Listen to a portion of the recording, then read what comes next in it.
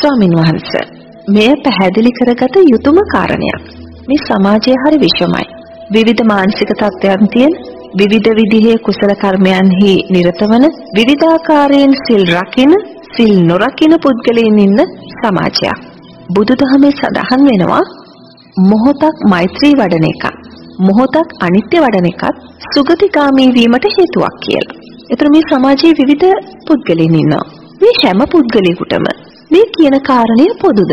මේ මොහොතක් මෛත්‍රී වඩලා මේ විදිහට සුගතිගාමී වෙන්න පුළුවන්ද? බුදුරජාණන් වහන්සේ දේශනා කරනවා ඇතුරු සැනයක් මෛත්‍රී වැඩුවොත් ඔබ බ්‍රහ්ම ලෝකයේ උපතක් ලබන්න කැමති වෙන්න ඕන කියලා. ආයිමත් බුදුරජාණන් වහන්සේ දේශනා කරනවා ඔබ ඇසුරු තැනක් අනිත්‍ය වැඩුවොත් ඔබ ඊළඟ ජීවිතේ මාර්ගඵලලාභී දෙවියෙක් වෙන්න කැමති වෙන්න ඕන කියලා. දැන් ආයිමත් එහෙම කියලා බුදුරජාණන් වහන්සේ දේශනා කරනවා මේ මැරෙන සත්වයින්ගේ මේ නියසිලට ගන්න පස් ප්‍රමාණයයි නැවත සුගතිගාමි වෙන්න කියලා. තේරෙනවද? දැන් අතනදී එහෙම කියලා බුදුරජාණන් වහන්සේ ආයිමත් කියනවා මේ මැරෙන සත්වයින්ගෙන් මේ නියසිලට ගන්න ප්‍රමාණයයි සුගතිගාමි වෙන්න කියලා. එහෙනම් මේ ප්‍රකාශ දෙක තුල පරස්පරයක් තියෙනව නේද? නමුත් බුදුරජාණන් වහන්සේගේ ධර්මයේ කවදාකවත් පරස්පරයක් වෙන්නේ නැහැ.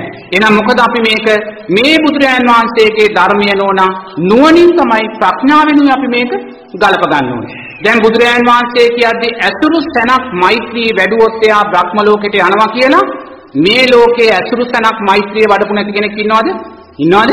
එහෙනම් මේ ලෝකේ හැම කෙනෙක්ම බ්‍රහ්ම ලෝකෙට යන්න ඕනේ.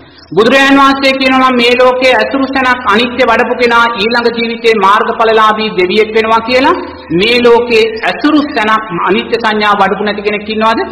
අනිත්‍යයි කියලා වඩපු නැති කෙනෙක් ඉන්නවද? එහෙනම් සියලු දෙනාම මාර්ගඵලලාභී දෙවියන්. එහෙනම් මේක කවදාකවත් වෙන්නේ.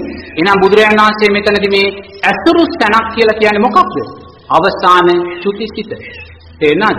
අවසාන චුතිසිතයි ඇසුරු සැනක් වගේ සකස් වෙන අවසාන චුතිසිතේදී ඔබ දක්ෂ වුණොත් මෛත්‍රී චිත්තයක් වඩන්න ඔබ අනිවාර්යයෙන්ම බ්‍රහ්ම ලෝකෙට.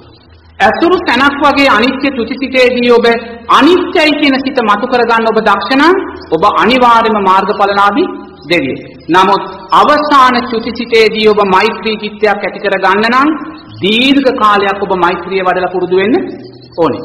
අවසාන චුතිසිතේදී ඔබ අනිත්‍යයි කියන සංඥාව මතු කරගන්න නම් අනිවාර්යයෙන්ම ඔබ දීර්ඝ කාලයක් අනිත්‍ය වඩලා පුරුදු වෙන්න ඕනේ.